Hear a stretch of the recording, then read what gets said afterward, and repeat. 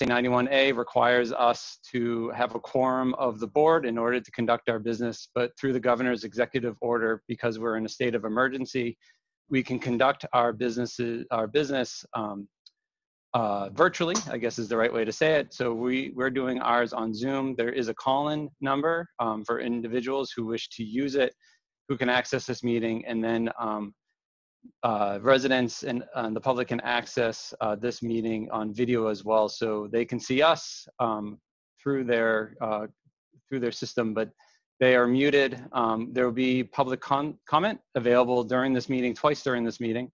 Um, we'll be asking for public comment, um, so the public can participate fully um, in this conversation. When we get to the public comment portion, I will uh, explain how members of the public are able to um, um, show that they want to provide comment and then are able to. Um, and then uh, per 90 RSA 91A, um, we will also we'll be following all the other guidelines of uh, New Hampshire's open meetings. So there will be minutes after this. Um, there'll be minutes conducted and put out.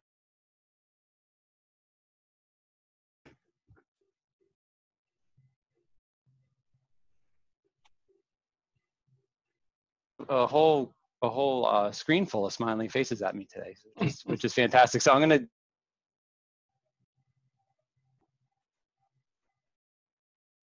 Um, so uh, with us tonight, we have all the board, the current board members of the Hopkinton School Board. Uh, so we have Andrea Folsom, Norm Goupel, Rob Nato, and Seth Aframe, and myself.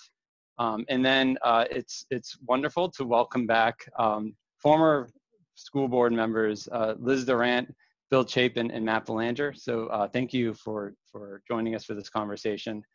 Um, we are also joined by uh, James Newsom, who is the school district moderator. who's vice chair of the budget committee, Jean Lightfoot, uh, the supervisor of the checklist,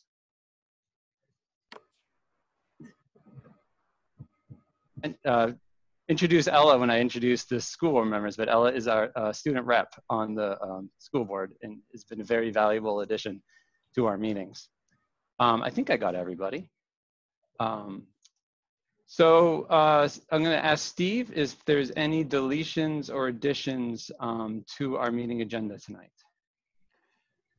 Um, the agenda is fine as it stands. I'm not sure, Jim, if you want me to just to talk about the moment of silence now, or would you like to do that later in the agenda.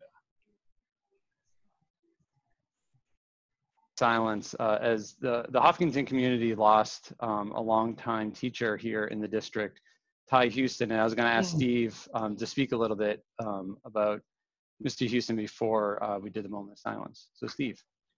Thanks, Jim. I really appreciate it. I had the uh, privilege and honor of working with Ty as assistant principal and principal uh, he was one of the more uh, really very influential people, especially understanding um, the benefits of, of, the middle school, the interdisciplinary, and uh, he and Larry did the immigrant unit.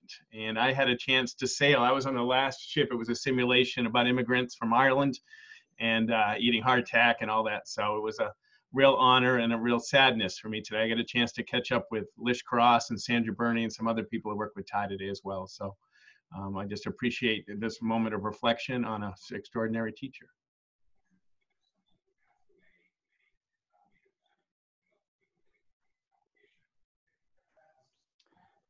Thank you, Steve, um, for those words and um, for bringing this forward tonight. Um, so we're we're here tonight um, I think in a, in a special meeting of the of the board, this wasn't a, a scheduled meeting of of the of the school board, but after a conversation um, earlier this week um, between myself, uh, Steve, Andrea, Jean Lightfoot, um, and James Newsom, I, I, think we decided that calling a meeting together um, sooner than later was in everybody's best interest as we sort of discussed um, some concepts for um, having our district annual meeting on May 9th. Um, we felt a real urgency to, to stay with that date um, uh, for our budget purposes and for teacher contracts and to um, and, um, and to keep us all moving forward, we felt the May 9th date was important. and so we we tried to work really hard to um, put a plan together or some concepts of a plan together anyway um, so we could we could hold that meeting that would um, meet the legal requirements that we have um, as a district, as well as um, ensure the the public and voters' um, safety to conduct uh, the, the meeting so that everybody is safe. So I at this point I am going to um, turn, well, actually, before I turn it over um, to James Newsom and maybe the board for some comments, um, we do have our, our, first round of public comment on the agenda. Um, and so if a member of the public under attendees, I'm gonna give a little bit of a, of a tutorial on how to, um, how to let us know that you um, want to provide public comments. So if you move your cursor down to the bottom of your screen, um, there should be a participant tab that you're able to click and then there should be a button that says raise hands and if you hit that raise hand button um, uh, it will it will show up on my screen that um, you wish to have wish to speak and then I can um, unmute your your line and that would give you the opportunity um, to ask a question or to make a comment. And so at this point I would just ask if there's anybody on the line um, who wishes to provide comments to hit that that raise your hand um, and then I will unmute your line. And so we have one. And so I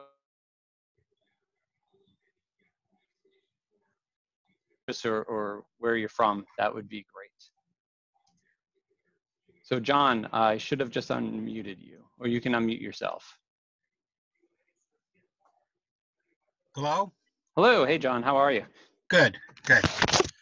I'll even put a picture up. Perfect. I think. I, um, um, the way you have it set up with the attendees separate, I can't see who is um, there at the meeting. Only, uh, only the one person speaking. Correct. So we um, we changed from um, what was a normal Zoom format uh, to the Zoom webinar format, mostly because it's it's easier for us as a board to conduct our business because um, we don't have everybody who may be participating. If there were 60 people, we would have 60 little boxes on the screen, which is really challenging um, yeah. to conduct a board meeting. So we have the webinar allows us to have the same flexibility that people can join us, um, watch the conversation, and participate without um, without having pretty much full access and being able to unmute themselves during the conversation. So that's how we set it up. Um, but you would need to, people should know who's there at a meet, in attendance for your minutes or just for the public to know who's speaking or?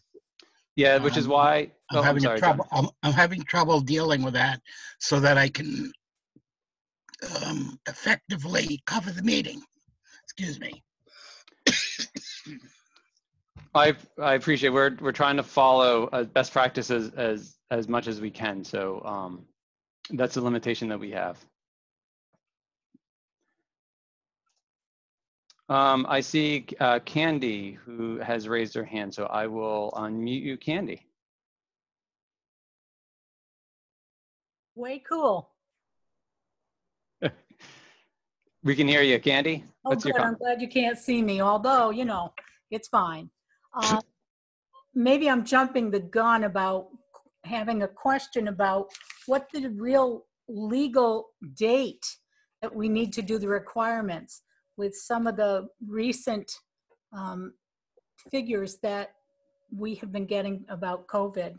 And I, I'm speaking as a, as a citizen of Hopkinton, although I am a supervisor of the checklist. Um, I have a concern that we won't be sheltering in place as we have been and wonder how we will be able to do that. I'm sure you're thinking about that. I, I think it needs to keep people safe.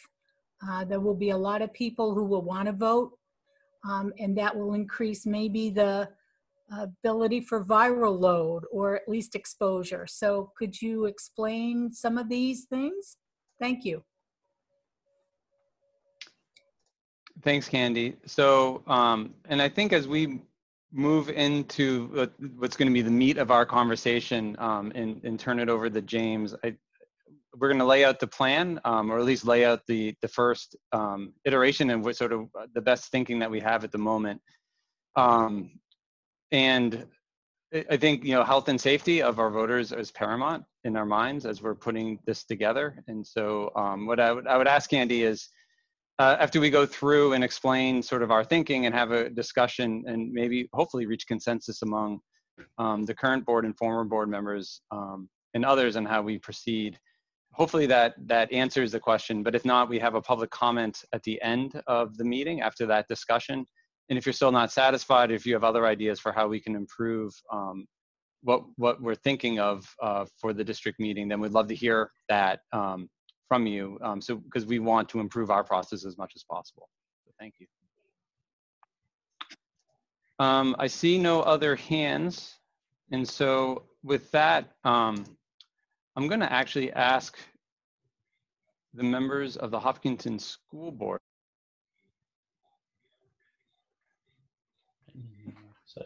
Discussion um, and ask James to present. So um, I'm just looking at faces. I'm going to go uh, to the right of me on my screen. So I'm going to start with Norm. Um, Sure. Um, most important thing for today is uh, to wish Janet a happy birthday. Yesterday was her birthday, so happy birthday, Janet. It's not every day that you, you know, finish 60. Um, I hope you have a fantastic, healthy year. Um, Thank yesterday you. was. Ex- you- you're very welcome, and I promise you, in our first budget meeting, I will bring you something sweet of your choice. We'll be in. T- we'll be in touch. Okay. Okay. All right. Um, I wanted to say um, yesterday was a great day. Um, the support from our students and from the, our faculty and just every citizen being off of Earth Day was just amazing. I couldn't believe how much garbage they collected. It's important to remember, you know, um, you know, every day is Earth Day. You see garbage, pick it up. Just don't, just don't keep it there. Um, last thing is, great to see Liz and uh, Billy back here. I'm excited to hear their thoughts on this and. Uh, um, I hope everyone's staying um, safe and uh, thank you for coming tonight. thanks, Norm. Uh, Rob, any comments? Um, no comments for tonight. I, I do have some comments based on our last board meeting, but I'm going to hold off to those to our regularly scheduled meeting. It's not really pertinent to this evening. So no, no comments for tonight. Thank you. Thanks, Rob. Andrea. Um, yeah, I don't I don't have a ton to add uh, to what Norm said, though I did enjoy seeing kids in their Hopkinton Hawk gear today for uh, School Spirit Day at Harold Martin. That was really we wore our baseball caps indoors. It was great. And Seth? Um, not too many comments. I do, do want to congratulate um, Rebecca Gagnon for her morning announcements every day at the high school, which I read. I think that she does a, a nice job motivating the students, but also being real with them and, and being honest with them. Um, and it's important as I watch, you know, as each week we put under our belt with this, it, it, it's a struggle for everyone. And I think it's important that we acknowledge that for the students. So um, I, when I see the guidance counselors or the principals doing that, I think it's helpful. And I just want to call out that we that, that everyone appreciates the, the honesty that the faculty is showing to the kids. Thank you. Um, and Ella, any comments tonight? I don't have any, but it's great to see everyone again. Great. Thanks for joining us. Um, so with that, um, I'm gonna, I don't know, Steve, if you want to set up anything before I introduce James. I know we have on the you know presentations and staff reports. Um, I don't know if you have anything special that you want to say. No, I think we turn it over to James is, is right on point.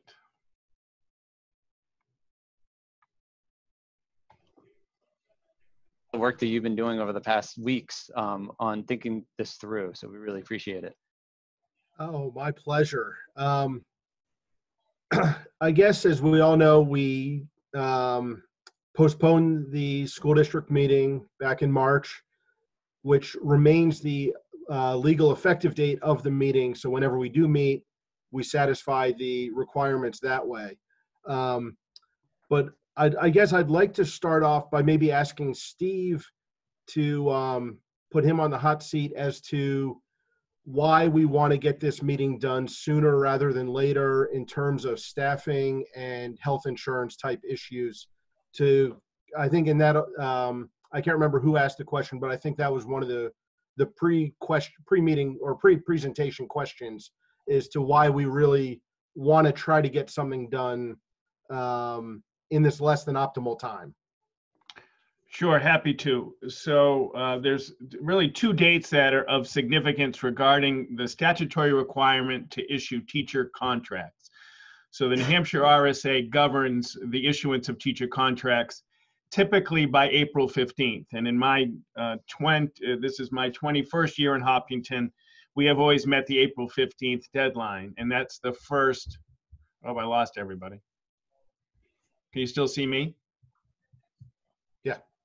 Okay, I'll just keep going. Um, and so the, the statute says by April 15th, if you have a budget, if you don't have a budget, um, by the second Friday in May, which I think is the 15th, so the 9th would allow a budget to be developed and then the board have an opportunity to vote for a slate. If we don't have a budget by the 15th, we still have to issue contracts.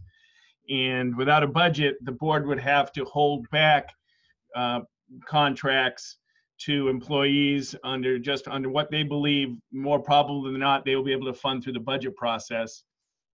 And so employees who did not would not get a contract um, they would still be with us and, and, and paid and covered for health insurance until june 30 if we roll to the new fiscal any teacher that we didn't offer a contract to would lose health insurance and we would be in that limbo without a budget so developing a budget or having an approved budget allows finality and the board to issue contracts through the amount supported at the annual meeting. Um, there is a lot of um, anxiety and disquietness right now among staff, not knowing uh, what the future is within this situation of no contract. So having an annual meeting would allow the board to fund or issue contracts up to the amount of the budget approved. So I think it's really a, it would be a stress reducer, some finality, and, and allow us to start planning for next year. I hope that makes sense. I think so, Steve. So thank you very much for that that outline of that. Um, now, with that in mind, trying to move forward on the 9th, uh, my goal, of course, safety is paramount, um, as well as to try to come up with a legal solution to this. Um, unfortunately, the Attorney General's office is not providing any guidance um, as to how to hold these non-typical traditional town meetings. Uh, so it's really kind of up to us to create something that works for us. Um, and so far, the only model I've seen out there, other than kind of what I've been thinking about, and it's very similar, is what Bow is doing. Uh, they had their first, they're doing kind of a three part meeting of an initial presentation, followed by online questioning, and then answering those questions in the second part. And then the third part is the drive through voting. Um, certainly not ideal by any stretch. Um, and I think we can tweak it a little bit to make it better for, for Hopkinton and to provide more ability to um, fit what we typically see in a meeting. And that's kind of another aspect of what i tr- like to try to do is to make this look as much like a normal meeting as we possibly can under so the circumstances which make it look nothing like a typical meeting. Um, so the process that i kind of see happening at this point and this is just a, an initial um, sort of proposal. It's not, I don't even think it qualifies as a proposal at this point. Um, is that I, as moderator, I would draft up some rules, a potential paper ballot, um, and then present those next week to the school board for another round of discussions. Um, and then May 6th, or May 5th or 6th, I guess, depending on what the school board would want to do, um, to have a meeting where I then present uh, the rule, the formal rules that I am proposing, um, as well as um, sort of opening comments, and then go through the the uh, warrant. Uh, so for that, I would ask under warrant article one, hearing from boards, committees, that the budget committee present their information that they'd like to present. Moving on to Article Two, uh, for SB2, I would ask that the representative from the petitioners group present um, their information as well, as then we continue through all of the articles uh, like we would normally do. But instead of having a vote after each one, we would just move on to the next article. Um, following that meeting, um, we would then provide a day, day and a half for uh, the voters to provide either comments either via email or voicemail. Um, at what, and then I will go through each of those. Um, I would accept motions to amend. Um, hopefully, there will be some consensus as to what those would look like, so they're not 18 different numbers um, all over the place. Um, all of those, my vision would be all of those comments would be included in the town minute, town meeting minutes as an addendum, uh, so that there is a maintained public record of each and every one of those uh, to build transparency as well. Uh, following that um, meeting and the comments, uh, I, as moderator, would provide a summary in another, in the second online school board meeting on this matter, um, as well as proposing amendments. Um, right now, I am foreseeing only motions to amend being made on the budget, uh, which is fairly typical from the last few years of me of meetings. Uh, the, of course, the contracts and the SB2 are not allowed to be amended by statute. Um, and so I would then be able to sort of propose a couple of different levels of amendments. Typically, I think in years uh, recently, we've gone through two or three different motions to amend the budget is typical before calling the question. Um, and I would base those numbers off of the comments received. Um, again, it's not ideal, but unfortunately, I think it's kind of the best we can do. Um, at that meeting, uh, I'd also then propose or pose the questions to the school board uh, that come in, and they can answer those. Following that meeting, uh, I would suggest that then it's open to the public for additional comments and answering from the school board based on sort of what they've heard so far. Um, I would not be interested, I would not like to take motions to amend at that time just because of sort of time restraints um, moving forward on the paper ballot, um, printing and preparing everything at that point. Um, then on Saturday, May 9th, I would uh, convene the meeting for drive-through voting. Uh, right now, um, I am thinking of two entrances, uh, the Kearsarge and Park Avenue entrances at the high school, high school, and split that alphabetically so there'd be two lines uh, to minimize the wait time to get people through as fast as possible. Uh, cars would pull up to uh, the table of the check vote or of the supervisors, um, and then state their name, check in, receive a ballot, pull forward so the next person can check in. They can mark their ballot and um, pull forward and and drop their ballot in the in the box and drive away and be happy that they voted. Um, after, and I'm thinking right now, nine to one as voting, uh, which would more than satisfy the one hour voting requirement for SB2.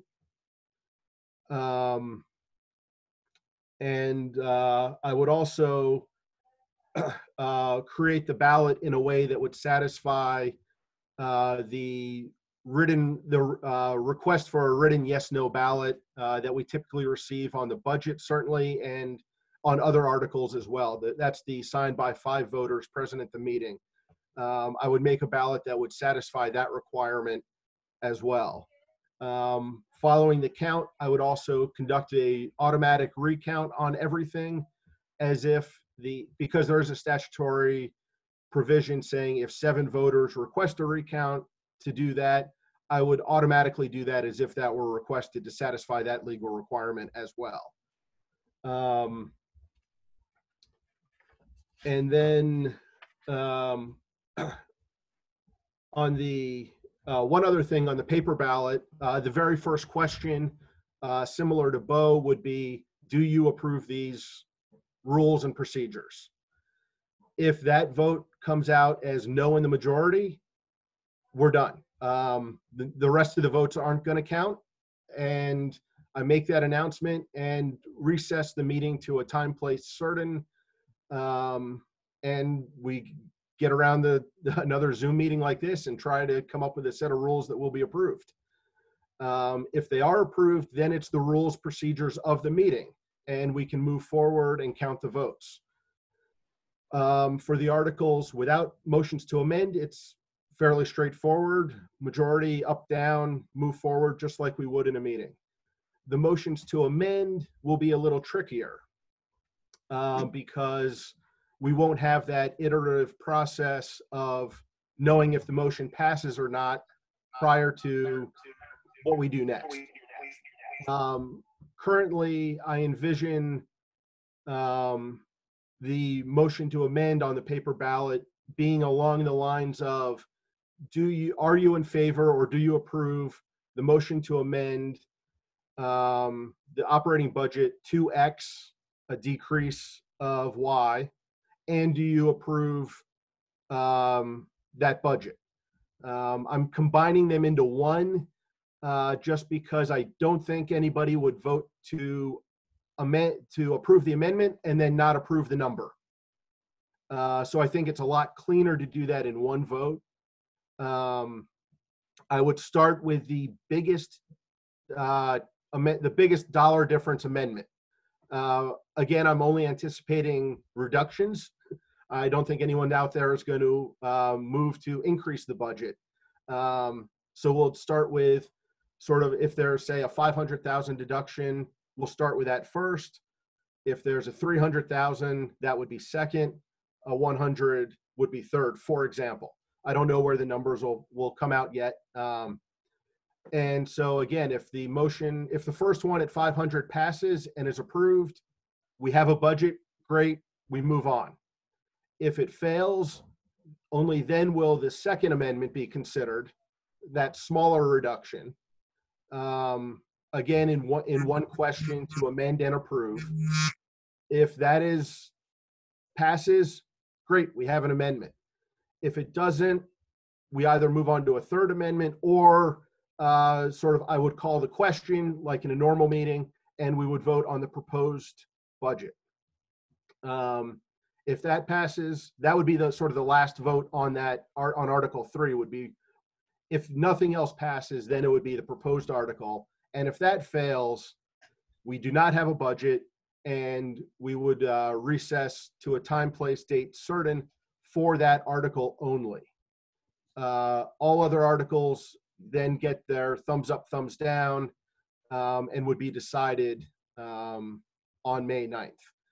Uh, only, it would only come back, it, the only reasons we would come back to another time is if the rules and procedures are not accepted or no budget passes.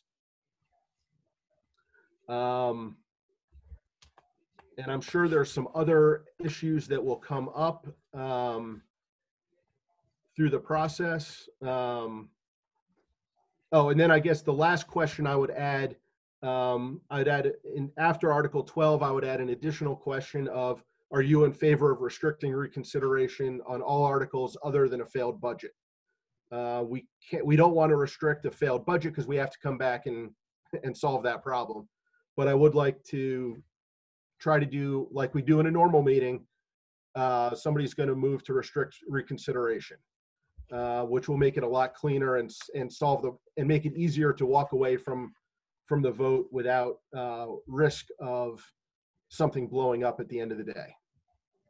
Um, so with that, I guess I would pass it back to Jim. If uh, folks have questions, concerns, ideas, I am all for it. Um, I by no means am a, a the expert on this procedure and policy uh, or what to do. So, uh, like I said, the AG's office is not providing any guidance um, up or down or any opinions up or down on whether this will work. Uh, and it seems like the governor is not going to be issuing an executive order uh, that will allow sort of a get out of jail free card um, that will allow continued spending uh, the way sort of the town uh, is able to under its statutory regime.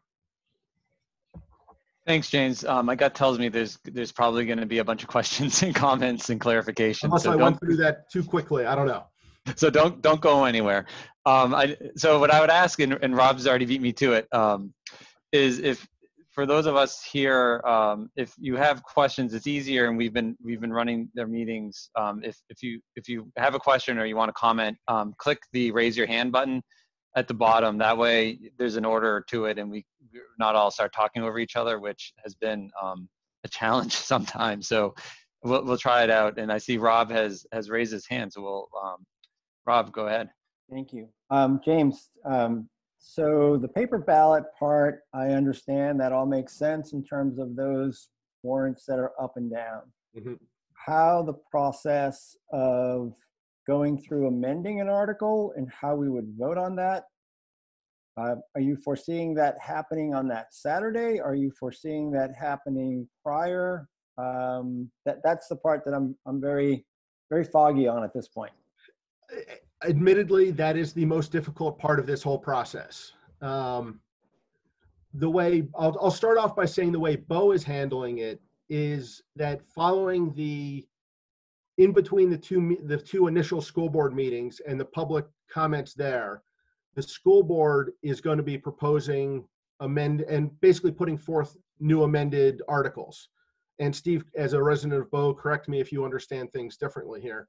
Um, but it's sort of in the school board's hands and they're still going to put forth one number um, having read those that and trying to understand that i am not a big fan of that um, i think that takes too much out of the hands of the voters um, and it may work in bow where there's from what i've heard there's less controversy in the numbers and less sort of community um, angst over certain numbers. So I think it may work for them better than it would for us. Uh, the way I see it happening is that again, taking those comments, which would include motions to amend uh, between those two periods, is as I go through those, I would kind of sort them and try to get into sort of numbers and pockets and um, try to come up with two or three uh, different numbers and propose those and include them on the ballot. Um, I would not be making these numbers up out of whole cloth. I don't like the, ob- the leaving this much much power in my hands, quite frankly. Uh, but I also don't see an ability to have 18 different motions on a on a ballot. Um, but if there are some that are going to be close enough, hopefully the voters will understand the situation we're facing and understand that a motion to amend by 225,000 is still really close to a motion to amend by 250,000, for example. And that whichever one kind of makes more sense relative to other motions, hopefully they would be okay with that. So I guess if you were to do that and you had to vote on the motion to amend, I'm just imagining this line of cars coming back around to vote again. Is that? No, I would have it all on one, all on one ballot. Uh, Yeah. so it's kind, it would, it would, so for example, if there's two motions to amend that would be put forward, um, there would be, under Article Three, there'd be three lines of voting. The first one would be motion to amend and approve an amendment, an amended budget in, say, a decrease of five hundred thousand. If that passes, then we have a budget all set. And then it's kind of contingent voting after that. Um, again, it's not a way I like to do things. I'd much rather be able to bring people back through multiple times, but that's, I think, not a viable solution for safety and efficiency of a meeting. Uh, so then the second line would be only viewed, I would only look at the second line if that first one failed. And that would be a similar saying, motion to amend, decrease by 250, and approve the new amended budget. If that, again, if that passes, we have a budget, great. I ignore everything below that on Article 3. And only once we run out of amendments, the last line would be, do you approve the article uh, or the budget as proposed? Um, and if that passes, great, we have it. If not, um, that's when we come back. Uh, so it, it is the challenge in this is, as I've already learned right now, is how to communicate this to create that comfort level in the system. Um, my counting the ballots is the easy part, uh, but it really is kind of getting figuring out a way that people will understand and not just say, oh, I'm voting yes on one, on the first big amendment, and leaving the rest blank. That's a big fear of mine. Um, and that's what, if that happens a lot, that shows that I failed in my job of explaining it. Um, I don't know if at that point folks would be comfortable with me saying, hey, if there's a big problem here, I'm going to call it out, raise my hand and say, hey, this is a problem. I'm not accepting these under these circumstances um, because I see some irregularities. I think it would Um, probably be important to um, get a sample of the ballot out to folks before Saturday, so they have. Indeed, yeah, my plan would be to get it out at least on the day before, if not sooner. Um, Probably at that first meeting, I could have a form of budget or a form of ballot ready to go. The thing that wouldn't be included would be the uh, potential amendment numbers, the dollar figures in there.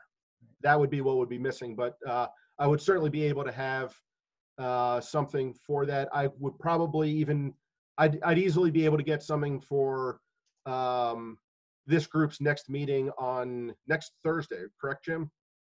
Correct. That's right, Uh, on so yeah, I'll, I'll be able to have uh, draft ballot and draft rules uh, ready at that point, uh, which I, I'll even be happy to send to Jim for circulation before the meeting, uh, so that people have time to review and aren't just coming in cold. Right. Um, s- Thank you. So we're gonna, uh, Billy, you had your hand up. Uh, can you guys hear me? Sure can.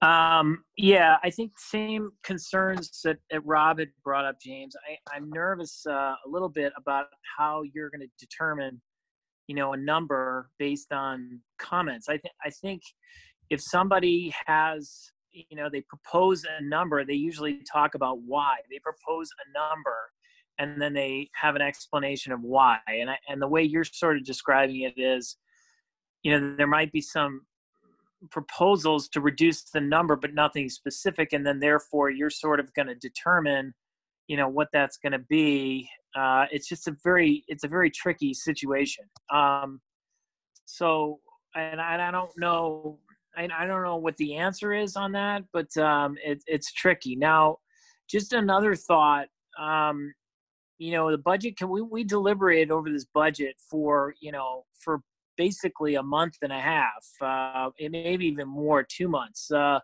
you know, we had an elected budget committee uh, approve the current budget that we have, seven to three. Would it not make sense to have the first ballot be probably the most, um, you know, the, the most likely uh, operating budget to pass, which is which is the one that's existing. I, I'm I'm confused at why you would want to start with the most major cut uh, on on a budget and then work your way backwards.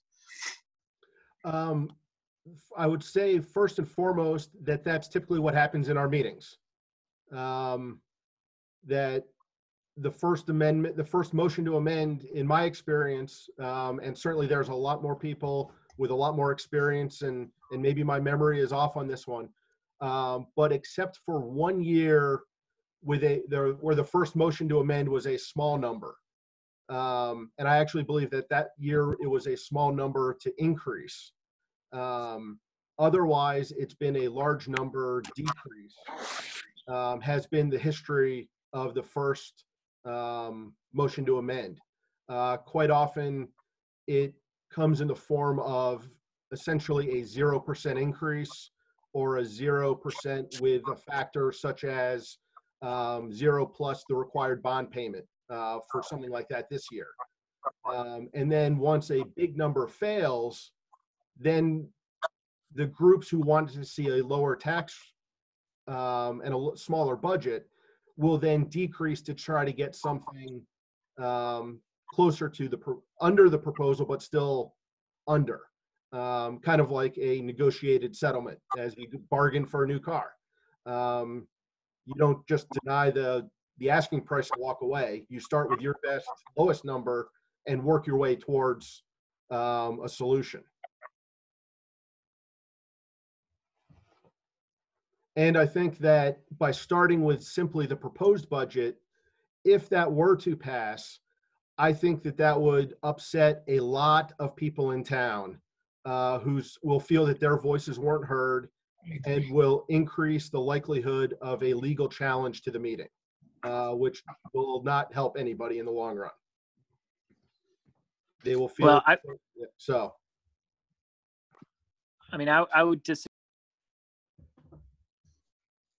Billy, I think you muted yourself. okay. There you go. We can hear you. Nope. There Uh, we go. You're unmuted. Yeah. Um, I mean, I, I, I don't entirely agree with that. Um, I think there was ample times to speak to this budget, um, particularly when the budget committee um, presented the budget to the town, and and we as an organization has been as transparent with all the meetings that we had.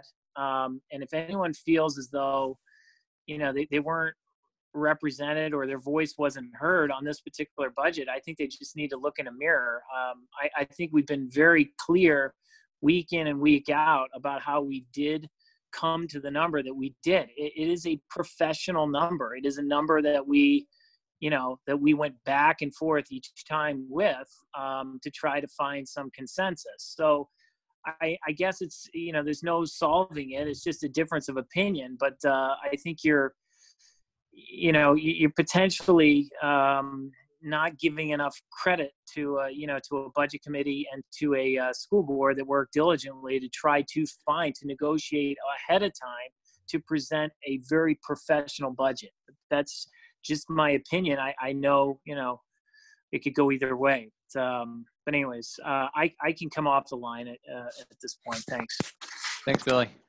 Uh, Norm. Uh, James, thanks for uh, wrapping your head around this and spending quite a bit of time on it. I know it's a lot of work, and I appreciate you coming here. Um, one of the things that struck out the most at me, and, and you may have to remind me how this works, is the rules. You said to me, if the rules are not agreed to, it's game over. At what point of this process can you? I'm just. When is that agreed upon? Uh, that would be the, that would be the first question on the paper ballot. Um, unfortunately, I'd like to be able to figure out a way to get, um, a- approval before then, but I just don't see a way where that can happen. Um, Well, the reason the reason I think I'm, I'm talking out loud is because we don't want to go through this whole work of trying to figure out a way to work with this, and then all of a sudden we spend three meetings, and then the town doesn't agree on it. And to me, it's a concern. You know, it's like agreeing on something, and then we're we're stuck. We're back to square one. Um, so that's a concern that I would, if you could at all maybe think of some some way outside the box that we could have that before that day if it's legal um i think that's something to think about because that's a big concern for me. Um my other question is there would be no time limit correct? Because of all the cars coming in and out. Usually ballots are open for like an hour it'd be to clear. Well on the bond on, the sb2 it'd be an hour but there'd be no time limit? Uh, I would propose that ballots would be open from nine to one. Okay uh, which I would think would still give us plenty of time to get people through. Um, okay being on a Saturday, it's not the same as regular elections on Tuesdays where we need before and after work kind of time frame. Um, yeah so I, I, I think we, I think a four-hour period would be would be plenty. And again, if any, okay and and if anybody is in line at one o'clock, uh, they would certainly get to vote. And if folks are still rolling in in droves at that point, I would make the decision to not close at that point. The one would be the earliest closure. Okay. Um, my my last my last question for you is how do you plan on getting the Just, just one, one more thing on that. That would also depend on, uh, the supervisor of the checklist's willingness to stick around and, and let people, and help out to get people checked in. yeah that's true Sorry, go ahead. Go ahead. No, my headset was acting up. Can you hear me still? Yeah. Okay, perfect. And uh, to be clear, people have to be in the car in order to vote and all that. You just can't say I'm voting for my husband and, and all that. Everyone would have to be present for the checklist, of course. Correct. Yep. That's- The, re- the check-in would be the same as always, uh, Okay. showing up and, yep. Okay, and my last question is, is um, what's your, what is going to be the best way to get this word out to to to our residents? You know, I want a, a good turnout. I want everyone to know it's it's happening. Uh, what is your strategy to get? I know not everyone is uh, social media savvy, unfortunately. Um, what is the best way? Mass mail in. What is the best way? And thank you so much. Uh, for that, um, in past years, I've never really been concerned with getting people to show up. That's always been the job of the select board or the uh, school board, I believe. Um, so I would say Jim and Steve, I don't know if you have ideas on that or could comment. Yeah, you know, Steve had had mentioned, um, and I don't want to speak for for Steve, but he he had mentioned that the the, the possibility of doing like a, an every door mailing, um, so that all households in town would receive, um, you know, information on this, so we could decide what that information is. But we have we have the ability to, you know, get paper mail in everybody's mailbox, so they know procedure, process, timeline, and all all those types of things. And then of course we have email lists and um, social media and all that. I don't know, Steve, if you want to add anything else to that. Does it? Okay, cool. And my last question is, when it comes to answering the questions for the budget, it would be the past board, correct? The outgoing board, yes, it's, it's the outgoing board's, uh, meeting still is my understanding. Okay. Yeah, and I think as we've as we've discussed it in the past, and as as you know, we've discussed with the former board members that um, it would be we would do this as a joint um, meeting in which you know uh, how we had set up the warrant articles to be presented at the meeting in March would be how we present the meeting, how we present the warrant articles at this meeting. Thank you, guys. Thank you very much. All right, uh, so Matt had his uh, he had a virtual hand up earlier, and then we'll go to Rob. Sorry, I don't know how to, I don't know how to do this. Norm, I think that was three last questions, just so we're clear on that. Um, uh, uh, James, uh, great to see you. Saw the pups earlier when I ran by your house. Oh, great. For those of you who don't know, come by James's house sometime and see the, the fox pups that are running around outside his house. It's pretty cute. Um, Foxes are, foxes living under the barn are much happier than the skunks that used to live there. Yes, yes. Um, I, I just want to, I, it could be late, too late in the day for me. Um, I, I don't know that I follow how all of the amendments to say the operating budget will go because I'd like to second Bill's concern. If we start with the way that I heard it, so I guess I'll, I'll loop back to Norm's first last question, um, which is kind of like process, I think. Mhm. Um, I think whatever we do, instructions have to be clear as day because I'm I'm super confused. Um, and I, I want to just make sure that I think I heard you say we will almost start with the deepest cuts first. Correct. And if that's the case, um, I would just like to say I, I worry a little bit about voter fatigue. Um, if if we start with the deepest, I, I just feel like at some point people might just throw their hands up. Um, and I wonder if starting with the proposed budget and then maybe working backwards the other way could could be a, a different strategy. And I'm curious um, if the group, maybe you, Steve, and Jim, considered the other way as an option. Uh, frankly, I did not consider that as an option uh, because, I, again, I was going by, based on my experience at past meetings, um, and typically that's how they look. Um, that the proposed budget is always the last one we vote on. Uh, the amendments always come first. Um, and I, I don't like the idea of taking away people's ability to to set up amendments.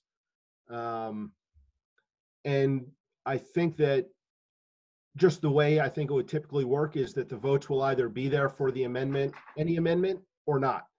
Um, whether it's, I, I don't see a lot of people switching from a big cut to a little cut typically, uh, or from saying no to a big cut but saying yes to a smaller cut. Um, that happens more often than um, than some other ways around. But I think it would either be the biggest cut or no cut uh, would be where the votes would end up is just my, that's a guess of mine. Um, I don't know if that should have any bearing on the order of, of the vote. Um, and I guess part of it too is that if we start with the proposed budget and it fails, well, hopefully one of the other ones would still pass. So it's, I think it's a safer one to have that be last as the safety net. Um, because uh, again, we don't want to have to, like Norm said, we don't want to have to do this again should the rules come down. I'd rather not have to do this again if no budget passes. Um, And- but I will certainly consider the order and see what, work through some scenario, some predicted scenarios in my head and see what may work. Uh, but like I said, I'd really like to, to maintain the voters' ability to amend, um, like we do in a, tr- in, in a normal meeting where that happens first. I appreciate it. Thank you. And, and I think when, you know, when we met and, and sort of talked about, uh, the, a couple of things in our conversation sort of rose up of- of what I think we felt um, were important to include, or at least to, to put forward in this, in the meeting. One was, um, and I think James had said it, to try to keep this um, as close to, as close to what would happen in the gym without being in the gym and not having it be able to be close to that. But how to how to provide information in a way that um, the public can can use it. Um, so process wise, like trying to keep keep some semblance of a process order. The second one was I think the ability in trying to set up multiple ways and times for the public to be able to provide comment. And so we could all hear how the public is feeling about both the process, because that would be important, and then also, um, you know, what people think about um, the amendments and then provide the opportunity for the board to respond. And so that feels like a ton to include in a short period of time, but it is important if if James comes back after hearing, you know, and receiving public comment that there was, you know, a hundred thousand dollar reduction. Um, it's it the the important piece is for the for the board to be able to respond to that and, and talk about the impact of what that impact would be so that every will be for what the impact of that cut will be. Because if we don't do that, then you know we're we're missing that um, we're missing the iterative process, or at least the conversation that is so important at town meeting. So somehow setting up the process so so the community can hear both the suggestion and then the impact before they go and vote. Um, and then the third piece is just setting it up so people get the flow chart, which I think is going to be the challenge. But um, um, anyway, so Rob, you're up next. Yeah, I'm still, uh, I'm still trying to visualize what the, the budget warrant would look like. So, you know, assume that people that are engaged have been a part of the process and asked their questions. And let's assume we've got two major amendments for different numbers. Um, so are we saying that you, you've got three options? You can vote for the budget as it stands and as, uh, you know, suggested and, and approved by the budget committee? Or you can vote for this option that says cut the budget by X, or you can vote for this option. So is that what we're looking at? Uh, no, it is not. Uh, because of the uh, requirement where five voters can request what it, it- it's a secret written yes no ballot. Um, so it has to be sort of it, it not quite like Jeopardy, but the phrasing is important. So it gets to be that yes no question, which again looks like what we do in a typical meeting, where you tear off the yes and the no and put one in the box and pocket the other. Hopefully, you get it the right way around. Um, so the first question would be sort of, are you in favor of amending the proposed operating budget to this and approving that new number? Just yes or no on this, on the, on the amendment, on the amended number. That would be the first question. The second question would be, if, again, if that passes, we're done. Uh, so you could, as a voter, go through and say yes to each one of the questions. That you'd be in favor of a 500 cut, you'd be in favor of a 200 cut, and if all else fails, you know what? You don't want to come back and try again, so you're going to vote yes on the proposed budget. Um, you may decide yes on the big cut and no on the other two because you want to all or nothing, go big or go home. And you're willing to come back and try again. Um, or you may decide no on all th- on all options uh, because your choice wasn't there, um, and and so the voters can vote whichever way they want. But a, a three yes vote I see as a very viable um, and rational way to go. Um, So there would be options on the paper ballot and you're going to be voting yes or no on each of those options. correct. You would, you would think that somebody would vote, I mean, in my mind, you would vote yes on one of the three, but not on all three. Just, Yeah, and again, that's where my job gets difficult in explaining this so that people understand that it's three separate questions and that you only get to the later questions after the first one fails.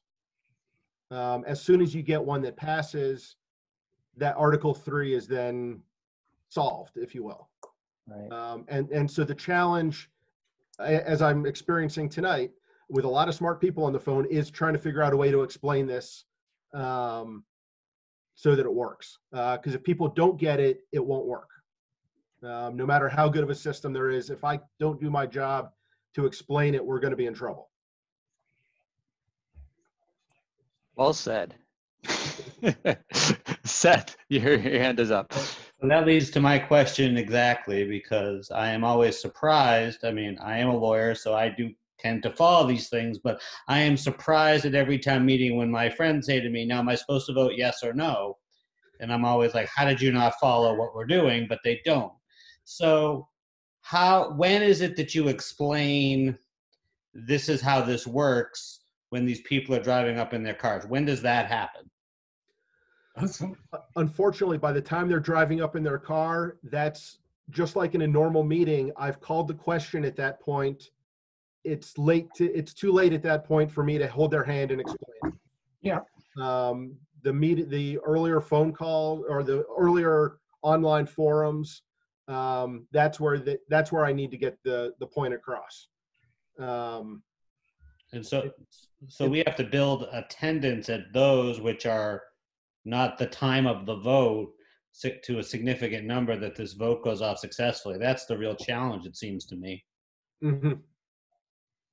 Mhm. Yeah, building the public awareness piece. Um, you know, both we can do mail, but I think coming up with a good communications plan um, in order to do the explanation, but also to try to drive people to come, you know, to either a, a webinar or being on a conference call or some somehow to hear not only the process piece, but to hear the comments and the discussion piece will be um, important. So how we time that and how we get those materials and messaging out, uh, I think to James's point, will either make or or or, or have the meeting fail. Um, I think if we're not, if we don't get that outreach right, I, I think this could all like what be a bust. And I, I don't know if that's what happened to Bose, or if they just really had technical problems. But I, I do think that's important. Uh, Liz, and then Janet, I'll come over to you. I saw your hand pop up. I just have a I just have a really quick follow-up question to that. Let's um, let's just say we do the information presentation sessions or session and we get all kinds of feedback that people are super confused. Like we just we're headed down a path where we just know that this is not going to go well. Um, James, have you thought about any provisions for um, if we need to, you know, kick out the meeting by a day to allow for another night? I mean, you know, just if we, um, you know, I'm just a little concerned that by having it three days apart, if we don't get the message, if we don't make it clear and we don't accomplish what we're saying we want need to accomplish, and that's to educate and to make sure everybody understands what's actually going to happen and happening and is going to occur on Saturday, kind of what our you know our plan would be um, to maybe dial back a little bit on it to make sure we get that understanding. That is a very good point. Um, I hadn't thought of that, but uh, um, certainly there uh, should be a, a, a plan B if we uh, are getting that feedback that it's not being communicated and it and if it's not going to work, then we should be able to pull the pull the plug on the plan and, and push it out a little bit. I'd still like to try to keep it within that um, May 15th um, date, uh, which will become much more difficult without a Saturday voting um, in there. But um, but yes, I, I agree that we should be able to constantly evaluate the next step and whether or not we're going to move forward or delay.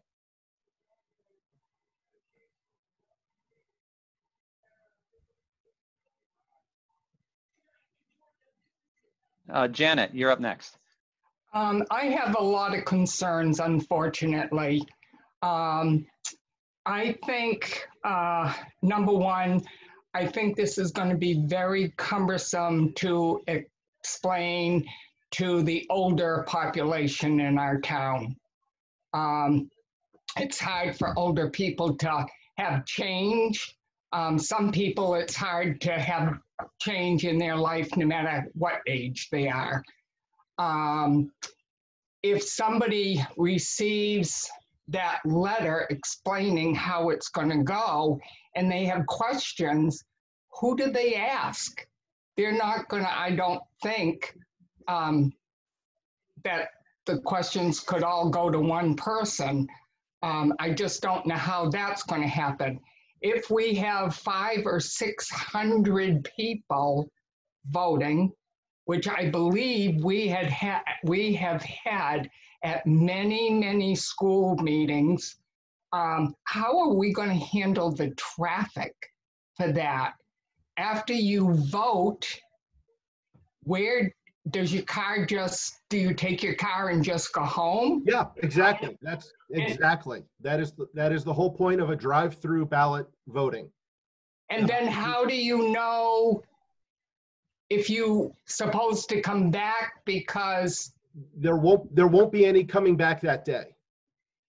So Uh, so sorry, i guess i guess i'm not clear on um if you're doing item one and they have the chance to vote for that that item uh, that article or they have chance to vote on a 500,000 um what do I want to say um delete or or Reduction. reduction that's the word i'm looking for or a three hundred thousand dollar reduction or a one hundred how are they going to know which one passed when they're counted after one o'clock and if they have to come back and vote Well, they would vote on each one. And that's the trick is that at the time of voting, there will be no way to know which one passes. correct And that's the, that's a problem. And that's why it's kind of that contingent voting. And you need to fill out each question. Once it closes, I count the votes. The announcement will give the vote totals for each one and say what passes. There will be no coming back. And that's why we're doing it as a contingent is so that that way we don't have to drive back through. And it's just the only we, reason we would come back to hold another meeting would be if the rules fail or the budget in all forms of amendment and, and as proposed also fails. That would be when we would need to come back. okay But and it now- would, but it would not be that same day. It would, it would be a different day. Okay, and where would they find out what the vote was? The next day or, I would work with Steve to get the, uh, to publicize the vote through normal, um, how the school normally communicates. Uh, so I'm sure we could do Facebook. I'm sure we could do an email list, voice or, uh, phone calls.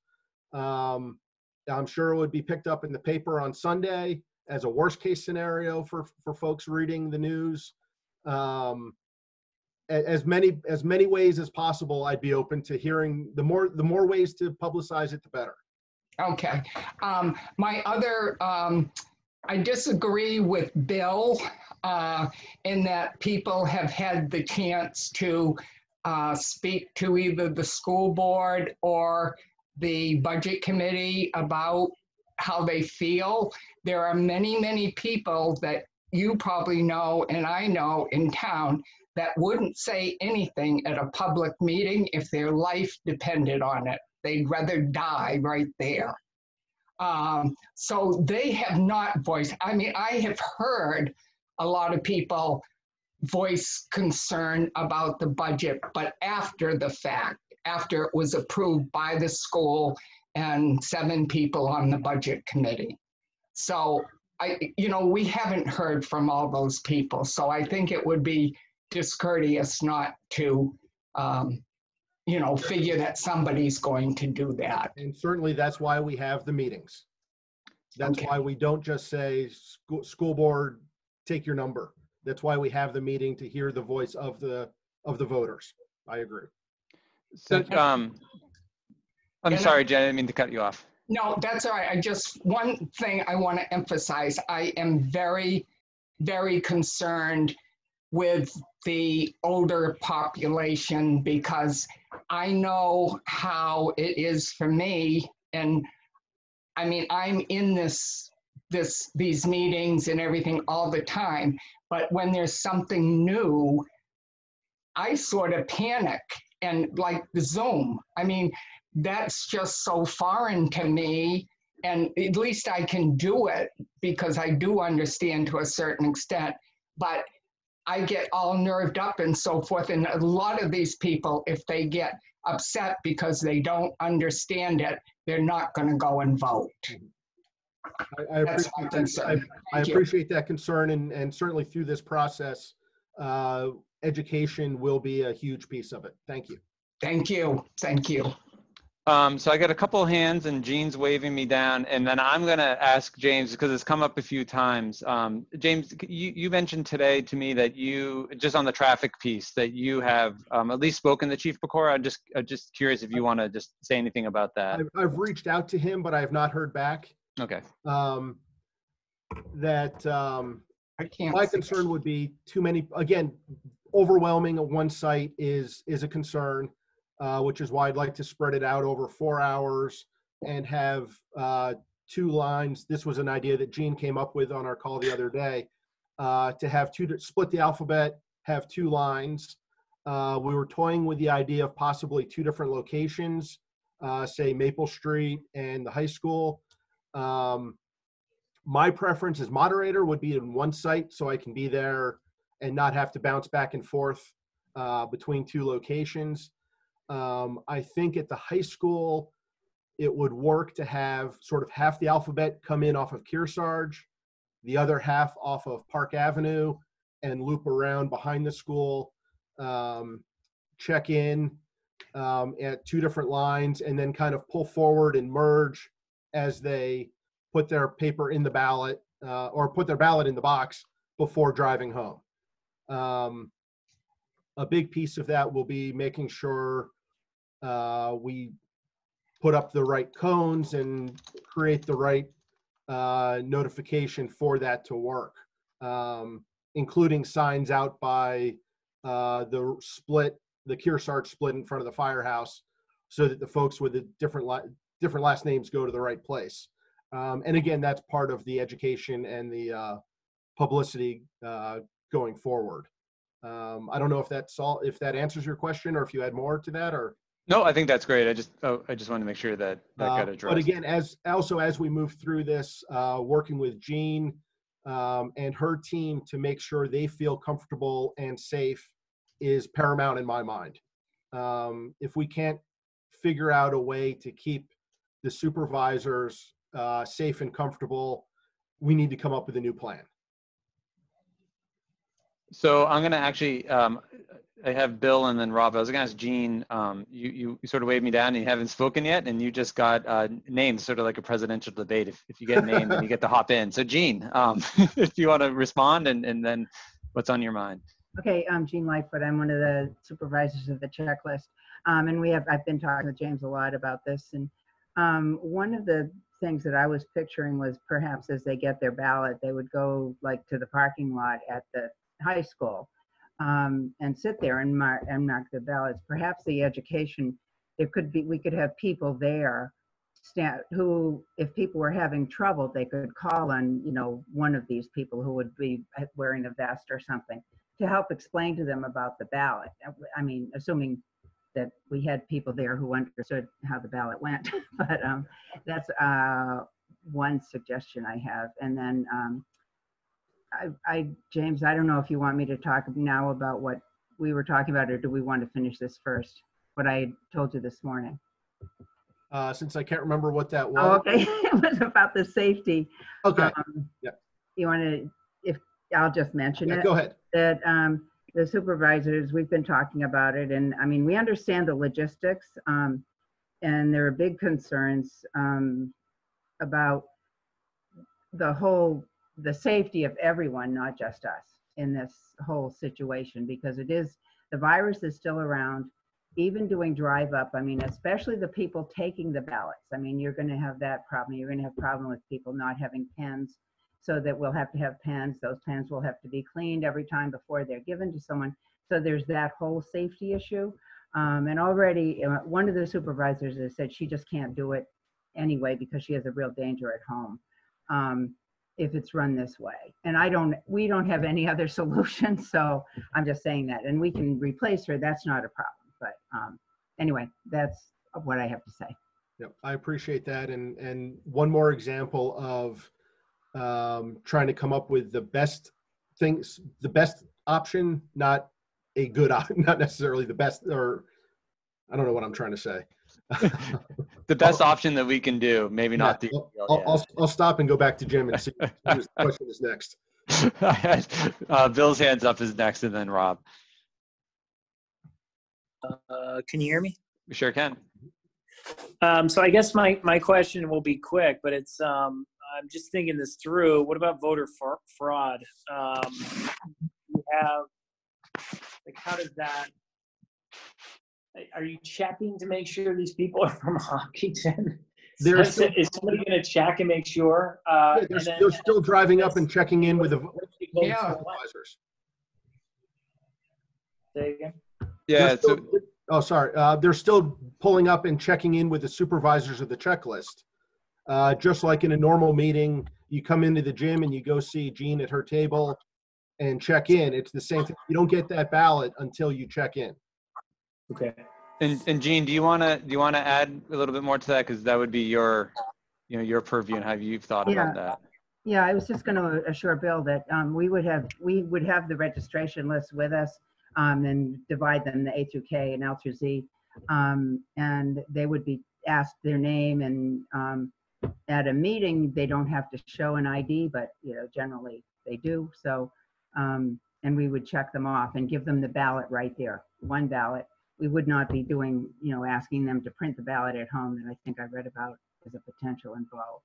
That wouldn't happen. So with the, I think we would control it that way. And if there are two people in the car, we'd need both their names, we'd check them off and that would be it. Just like we would at a regular meeting. Thanks, Jean. Um, Rob. Jim, can you hear me? I'd like to ask a question. Yeah, Rich, I'm gonna get to Rob and then we'll I'll come right to you. Thank you.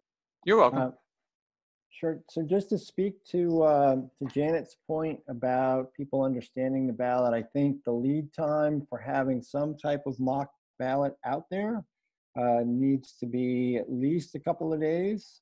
And perhaps having somebody in the front side of that, or, you know, if you have questions, maybe there could be another lane where you could pull out and somebody could explain it to you so you're not clogging up the, the rest of the lines. But I- I would say at least two days with some good anecdotal notes there that says, okay, if you're doing this, this is what it means, etc.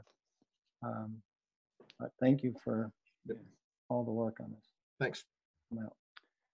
Um, Rich, Can you hear me now? we sure can. Thank you. Um, I was just wondering if it would be possible to delay the meeting until June or July, as such time the governor has lifted the ban on assemblies, but still, uh, as I understand it, there will still be social distancing involved. One way that I thought that we could have a, a, a meeting where everybody is there is if we had the meeting out on the soccer field and we would put people in lawn chairs 10 feet apart and the school board would be, would, uh, speak through microphones so that everyone could hear. And then remote microphones could be set up in the field so that people could walk up and stand 10 feet apart and, and address the, the microphone in the normal way. I certainly appreciate that as an option. Um, with the May 15th uh, contract deadline for the teachers coming up, as well as the uncertainty if the um, uh, governor takes action between now and then. Uh, it's quite possible that that we'll still be in the same boat at that point, and then we'll be f- are uh, looking at either doing this then or or trying to come up with something else later, or coming up against uh, teachers losing their health insurance um, on July 1. Um, so I, for one, would rather not really push this back any farther. Uh, but I believe that would be uh, the call of the. Um, technically, I think that would be the outgoing school board. Um, actually, at this point, it would be me because we have had the meeting. It's been scheduled. It's my postponement or not. So um, I'll consider it. But uh, at this point, I think I'd like to try to really try to get something uh, moving for the ninth. But I, I appreciate the idea and the concept. Uh, we had thought about um, doing a similar outdoor over at the fairgrounds at one point. Uh, we thought about keeping, um, or it was it was a very quick uh, think about, uh, but it was brought up to have every room in the high school used uh, with no more than 10 people in any room, which would satisfy the the order. Um, but that one to me is just would not be able to feel comfortable um, in a situation like that. Um, so that's why we're kind of it, it's the best available option. It's not the best option. Um, ideally, I would have loved to have had a regular traditional meeting like we're all used to. Um, but in these difficult times, I hope the voters will understand and uh, work with us as much as, as as as they see reasonable. But, Thank you. Yeah, and I just add just a little bit on the James's great answer. It- it- one of the the challenges I think we have um, is you know, so we have a our, our budget, our new budget begins July 1st, and so um, we don't have any sort of statutory provisions that re- that enable us to sort of move forward without that budget. And then we have um, I don't know, 100, 100 plus teachers um, who who are you know who have jobs, who have families, who who are who are dependent upon and their you know their their jobs and livelihood are dependent on the town. So so we have that added pressure. Um, and then you know if, if we do a process and, and and wait until June, let's just say we we skipped ahead to June and we're we're still like, we don't have crystal ball, so we're still operating under the same scenario we are today. And that budget and and we go through the scenario and the budget fails for whatever reason. Um, you know then we're then we're really struggling in order to get a budget passed in time before you know we we we have no contracts, we have no teachers, and a new budget starts, and we we have no authority in which to expend any dollars.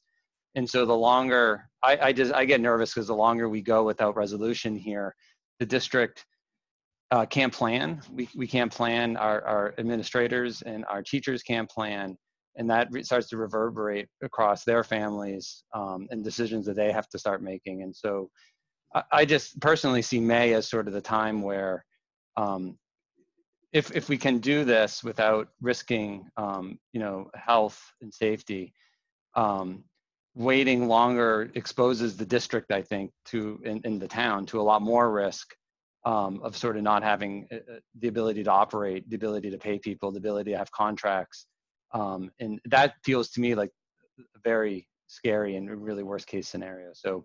I, I just hope we can find a way to move forward. And this might not be the optimal plan, um, but I, I do think with all of us um, working on it, we, we might hopefully can get to a place where we, we feel comfortable enough to move forward. Um, Norm, just want to reiterate, reiterate one thing, James. I just strongly recommend figure out something with the rules of engagement if we can have that before. If there's anything in your power that we don't go through all this work and then it's shot down the day the day of the um, of the vote. And I would just try to think outside the box if possible if we could.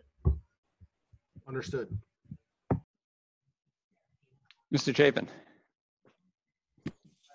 Uh, sorry to keep chiming in on on this, but I just, I just want to be clear. Um, again, going through the whole process, the paper ballot um, comes through. If we have more than majority that approve a budget cut of, let's just use half a million bucks, that passes. Is that correct? If it's more than 50%, yes. So it's Just more like than, the nor- more than, more than 50%, and that's the first time through. You're gonna go with the deepest cut, the first time through, just, just to be clear on this. And, and it's because generally that's how things have gone in the past, and generally, you know, when we have meetings like this, that's generally how things have gone in the past. Is that correct? I just, Right, just wanna make sure. Yeah, typically, at, at a regular meeting, there'd be that most, somebody would come up, motion to amend. We discuss the motion, and if that passed and it was approved, I would probably call the question um, to, to vote on, on the, on the article as amended, that the amendment has been made at the meeting. Uh, The only place to amend it is at the meeting. Um, So to start with the, I think we'll get to the same place either way. Um, But I think it's more fair to the voters to start with the amendments uh, because that's the way we do it at the regular meetings. Okay, I just. Yep. Again, I, I just want to be, I just want to be clear on it. I, I. um, Understood. And the, and the other point, um, I, I like, can everyone still hear me? I can see I'm muted. You hear me? Good, yeah. Um, I, I, I commend Rich, uh, and there, to, to be clear, uh, a, a situation like Rich's where we have a meeting in an open space cannot be had until June. Is that, that, to be clear, that, that could not happen on May 8th, right? Is that right? I, I would not feel safe having a meeting even with 10 people on 10 or uh, people 10 feet, 20 feet away from each other. Uh, with the schools closed through the rest of the year, I do not feel comfortable with that scenario at this point. Okay, and then in light, sorry, I'm, I'm, I'm I got one more question. Uh, you know, in in light of what uh, of what Janet has said um, with regards to the confusion of a meeting or what have you, would there be any consideration at all um, to default to the budget committee's budget if we can't get a meeting in on May eighth? No, statutorily, that is not allowed. Got it. Thank you. Sorry. Yeah, there is, you know, under, under state statute, there is no default budget. Um, we have to, we have to, have- the voters have to pass a budget. Just thought I'd ask. It's a good question. If we could, if we could, we'd already be there. And I have one other concern. Go for it. Um, I, if you have cars coming in from Kearsarge and you have cars coming in from the other end, and each one having half the alphabet, okay? It stands to reason that you could have people backed up on Park Avenue, both directions, for as far as you can imagine and then some. And also on Kearsarge. Years and years and years ago, before they allowed or, or suggested to people to come down uh, exit seven and get off the highway for the town fair, we used to have people backed up in cars waiting as they got off uh, 89, that far up Maple Street. Now, I know this is probably sounds like an exaggeration to you, but if people get out of their house and come and they can see cars in both directions, are these people going to give up voting, even though they know it's nine to one and they don't have to be there right at nine o'clock? I, I'm really concerned about that and, and whether we will lose voters for either, you know, either side. I mean, it doesn't make any difference. I just want to have everybody have you know, a fair shot at, at voting. Again, I agree. I 100% agree with you. And if I had a better idea in my head, or if anybody else has a better idea, I'm all ears. I just haven't been able to think of a better way to, to come up with that, to solve that issue. Is there any possible way of having it at the fairgrounds where they could be, you know, off the highways? What I'm thinking is you could plug up Kearsarge and Park Avenue in both directions. For Yeah. something like this, if you're going in one side for part of the alphabet and in the other side for the other part. And I'm sure, I mean, we've got a police chief that's awesome, so. No, and, and I've reached out to him. I, like I said, I've not heard back from Chief Pecora yet. Um, but I'm sure, and that was an issue that I raised with him is, is the traffic and wanted to get his, uh, input and blessing and help in, uh, in dealing with that concern. But I appreciate, I greatly appreciate you bringing it up, uh, tonight. Thank you. Thank you. Um, so I'm going to ask uh, Mr. Chamberlain to, his hand was raised. Just that there's, uh, what they're doing in, in, um, the town I live is they're actually suggesting, uh, hour spans of when people can vote as well. So A through C is during this hour and, you know, the- so they're trying to spread out to the voting, just advisement, you know, that if you can, to spread out the voting within the, within the four hours. So not just entrance, but, um, you grouping as well by hour. Just thought I'd throw that out there. Thanks. Thanks, We'll, Steve. uh, We'll, we'll, we'll talk with the supervisors about that and see if, uh, if we can do something with that to spread it out a, a little bit. Rob? That, that's exactly what I was just going to suggest. Just smaller groupings and, you know, keep your two lines. But if A through D could come from nine to 10, that'd be great. Um, Uh, Jean's giving a thumbs up, so it looks like she likes that idea. I like it. Yeah, uh, that would be no problem for us. And of course, Um, if, if we recommend like A to D from nine to 11, if they come at, at noon, I'm not turning them away. No, no. Whenever, whenever they get there, they get there. It would just be an, an, a soft ask. Yes. Turn nobody away. Wow, we've exhausted everybody's virtual hands. Um, I'm impressed. Uh, so I just want to say a couple things, and then um, if, if there's no other, I don't want to cut off conversation. So if anybody has additional questions or comments, uh, they should feel free to raise their hand uh, to do so. But so tonight, what we wanted to do, obviously, is for James to come and sort of share the, the current thinking. Um, as as James mentioned, you know, our next opportunity when we have a scheduled school board meeting is next Thursday, April 30th. And so um, after hearing all this, I'm sure James is going to go back. Um, actually, he's not going to go back anywhere. He's, he's already at home. So James is going to go maybe back to the drawing board um, and, my and, computer besides.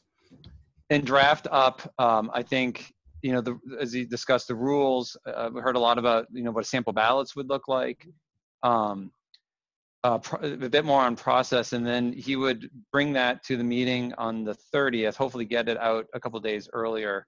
Um, and then I, I think you know andrea and i can work with steve around um, you know planning around dissemination and communication um, especially taking into consideration, I think Janet's good comments about how we reach and, and uh, talk to um, older older citizens um, about how how this is going to work. And I think somehow we have to come up with a simplistic way for people to understand um, this concept.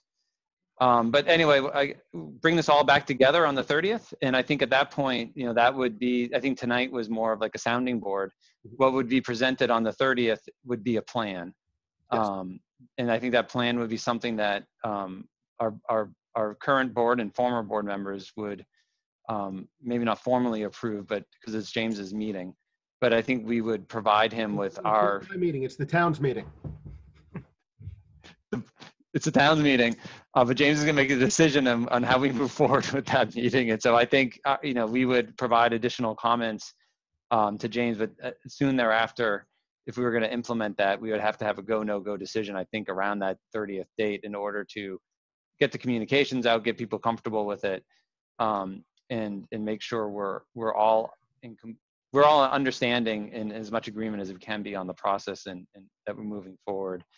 Um, and then uh, Jean, I just for you and the supervisors just to be sure that you're comfortable, you have the people you need, um, and, and any sort of concerns that you have in terms of you know implementing um, the voting that those are you know you, you feel comfortable doing that too would be really important. So to come back on the 30th with, with so your go ahead would be really important. Yeah, um, I can come back, I can come back on the thirtieth, um, but the other two do have, they, they have serious concerns about the whole, you know, the drive up and not only their own safety, but everyone's safety. So that's, it's a huge, huge concern from our standpoint. So I just want to put that out there. Just Candy just told me she just got kicked off from the participants. So she's, I told her, try to get back on because you need to comment again on the, um, you know, in the public comments. So that's, I'm just put that out there for you. And on that, James, have you, uh, uh, and I know you've had a lot of conversations, have you had any, have you reached out to anybody at um, the Department of Health and Human Services uh, just to, uh, you know, get their input on some of what Jean's bringing up around safety issues? I have not. That's a great idea. I will tomorrow. I think that would be good. Um, just to ensure that whatever it is we're doing, you know, we get their advice um, and best practices. Yeah, I, I would say that it, that's the public health issue is the issue. I mean, that's the main problem, not, you know, the traffic and everything. We can deal with that. I, you know, I've, I've, you know, we park cars at the fair all the time, so, you know, that, and no one gets killed up there. But I think, you know, the public health is the biggest issue from our standpoint. All right. Um, is there, I'm going to just put the agenda back up so um, we, we can all see where we're at. I think that's the agenda. Let's see what happens. You guys seeing the agenda? Yes. All right. Magic of technology. Um, so if there's, are there any other sort of last minute, um, last minute comments, suggestions? If not, then we're going to open up the second uh, public comment. Um, and I know we, we still have a number of, of people on the line and some hands raised. So I think people want to provide some additional input um, onto our process. All right, uh, so not seeing any more, I'm going to um, going to flip over and going to start with Tammy, um, who I should, Tammy, I believe you can unmute yourself. Yes. How are you? I'm good. So Tammy Clay, 62 Buckingham Lane. I thought um, um, that if the school budget wasn't approved or couldn't be approved, that it would revert back to the previous budgets until um, further um, vote could be taken. Am I, do I not understand that right?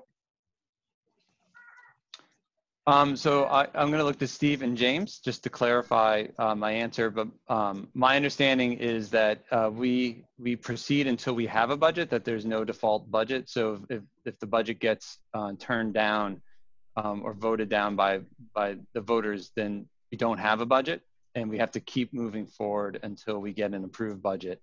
Um, there Right. there's there's no, there's no fallback. I And I'm seeing nodding.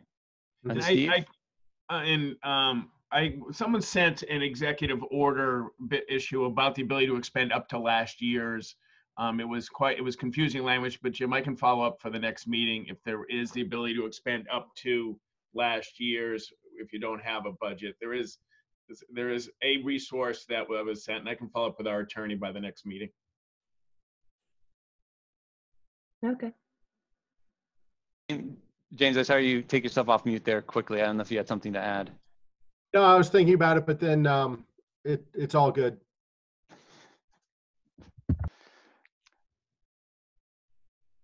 All right. Uh, so next up is Scott. Scott Zip- Zipke. Scott, how are you doing?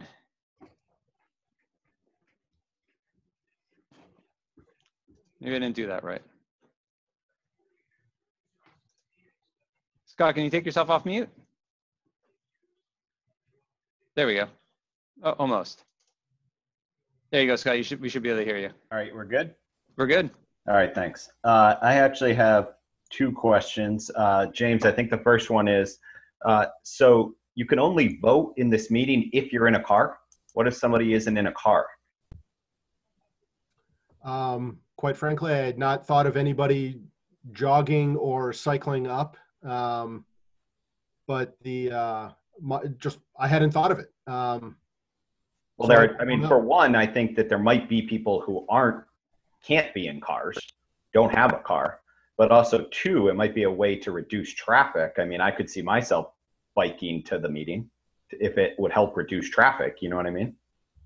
Uh, certainly if, uh, they're otherwise socially distancing appropriately, um, I don't foresee a problem with that. Um, it may be more dangerous with that many cars coming through to not be in a car, uh, just because of how other drivers are, are behaving, I guess, at that point. So that would- could be a concern, but, um, I certainly, if somebody walks up, I don't foresee myself saying, no, you're not allowed to vote. Um, if they're in the checklist and a registered voter, we'll figure it out. All right. And then my second question was to kind of get back to what um, Bill Chapin was talking about earlier.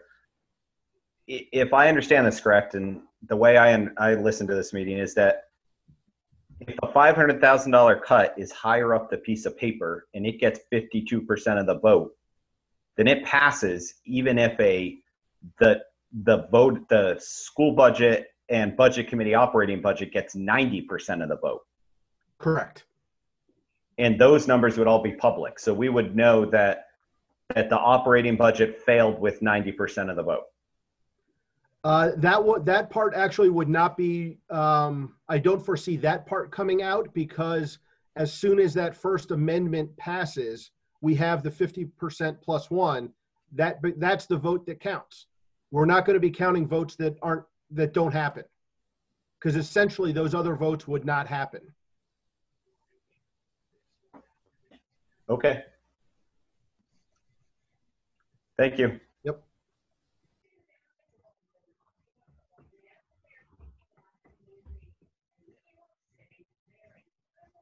And again, this is just sort of proposal stage at this point. Um, things may change. We may come up with some better ideas. Um, I'm open to them certainly at this point. That's why we're, that's why we're having this, uh, sounding board, I guess.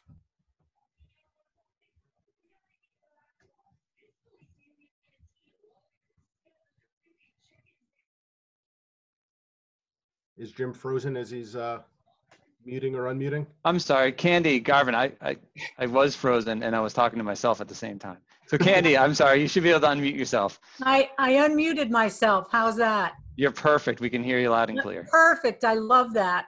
Now, first of all, what I want to tell you on the both the budget committee, my dogs want to talk to you too, evidently.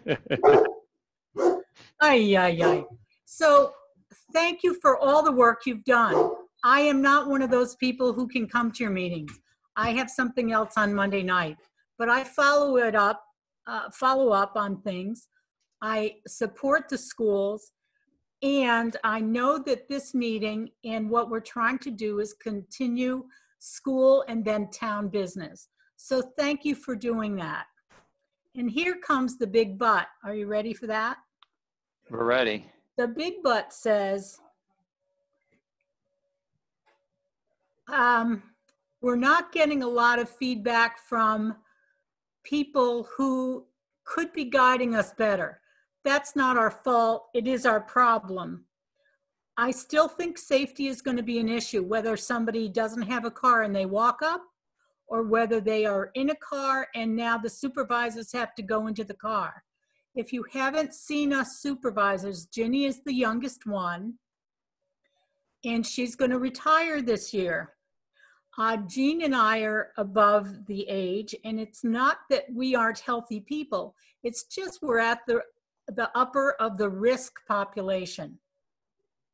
So that being said, I'm hoping that you think about what the safety of everybody who's going to vote is going to be.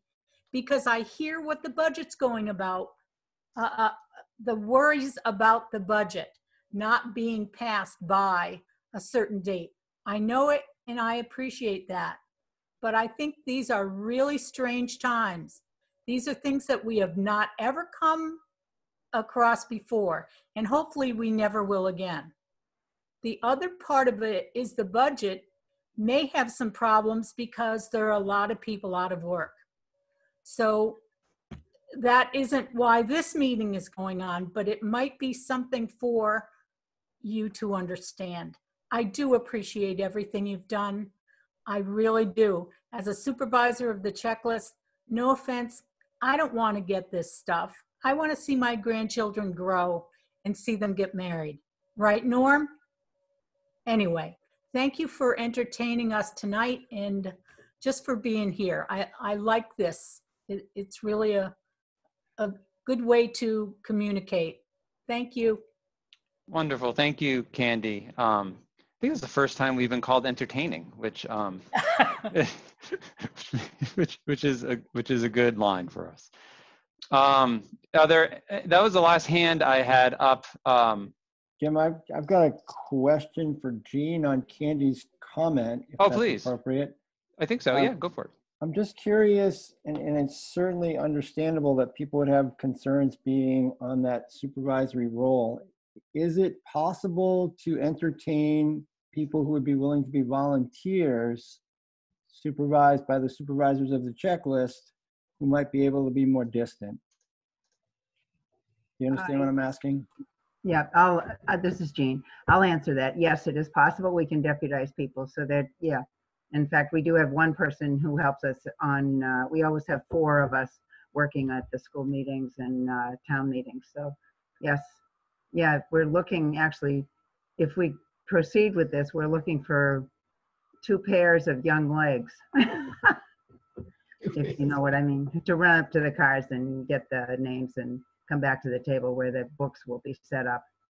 Uh, If it's not inappropriate for a school board member to play that role, I would offer services. Great. Thank you, Rob. Thanks. Um, so we did get another hand, and so it's uh, Diane L. So Diane, I'm going to bring you over to um, allow you to talk. Just give me one second as I press the magic buttons. Um, all right, Diane, you should be able to take yourself off mute if you could just uh, let us know your name. Nope. I think you just put yourself on mute. Can you hear me? You sure can. I guess I have to hold the space key down. My name's Diane LaChance at 264 Amesbury Road. Um, I think the plan sounds great. I was uh, pleasantly surprised with um, all the ideas you came up with.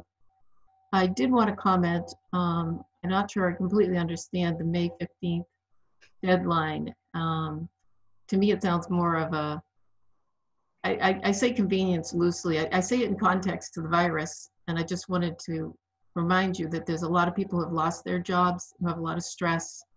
The teachers do as well. And I think if you were to wait a few weeks, those few weeks would be a great time to educate people on how you're going to do this drive-through voting and how the amendments will work. It feels a little rushed to be done by May 9th to educate people. So I'm just asking you to reconsider um, the importance that you're putting on the May 15th date. I'd love to hear um, maybe a better understanding of what that date means so that um, maybe I can sympathize a little bit more with you. But um, right now, um, I'm thinking near the end of May or beginning of June would be uh, a better time. Thanks. Thanks, Diane. Um, and maybe, uh, Steve, can I ask you to, um, you, you sort of kicked off this conversation with that. and if you, if you don't mind sort of going back through the dates and the statutory um, guidelines or, or statutory statutes, maybe that's right, statutory timelines that we have, if you don't mind.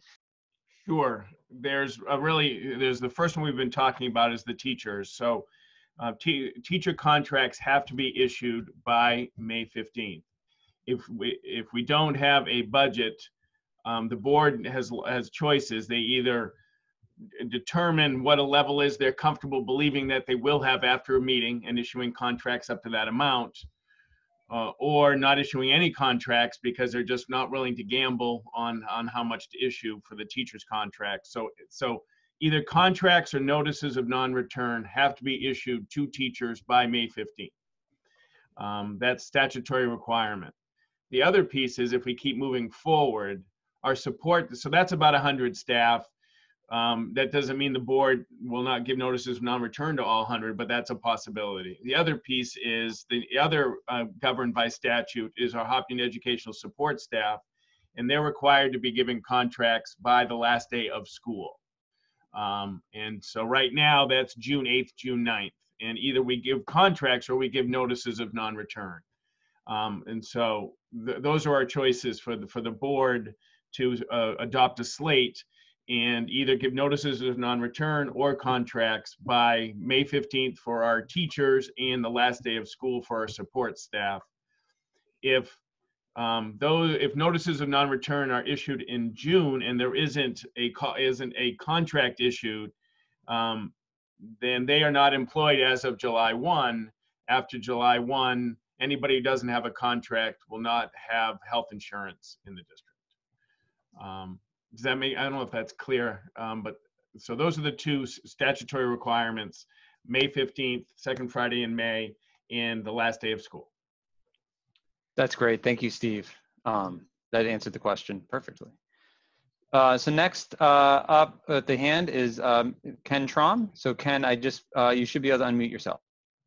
Okay, can you hear me?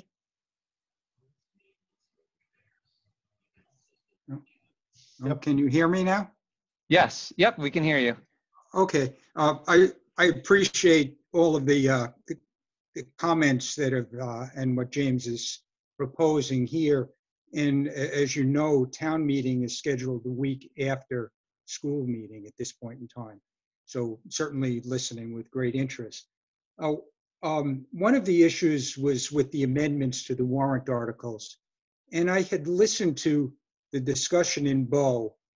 And my impression was that the Bow School Board would vote to potentially amend the warrant, which sounds to be something very different than what James is proposing here. Now, because the world has changed since Budget Committee and the school board voted on the, the budget that's being presented, will the school board at least be able to vote that, okay, now they support a $200,000 reduction, or they still continue to support the original, so that that kind of information would be- provided to the voters? Thanks, Ken. And um, I, I'll I'll start to answer. I mean, I, I I think you know the school board, the the the current school board. That's probably the right way to say it. You know, we haven't had a discussion about amendments to the budget and to the warrant. Um, you know, the, the budget committee and the former school board. Um, I call it that because it's easier to switch between the former and the current school board. But the, the former school board and the budget committee have um, both approved um, a, a warrant, and that warrant has been put forward. Um, and you know, as James sort of said, that that's the be- we put the warrant out, and that's the beginning of the meeting.